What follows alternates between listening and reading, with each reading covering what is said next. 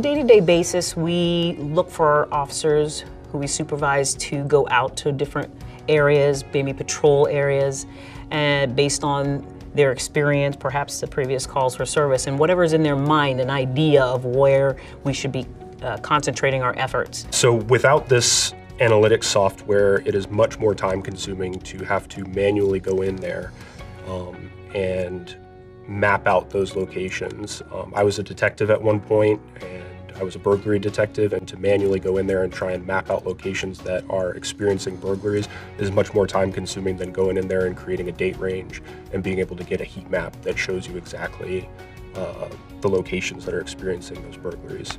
This program, I actually have a report that's being sent to my inbox where it tells me, oh, we've had six or seven calls for service out at this location this month before the end of the month. So I'm able to then now, right, contact the business and say, hey, this is escalating again. What can you do? What has changed from the previous month that we can maybe affect and get those calls for service uh, back to where they're slim to none?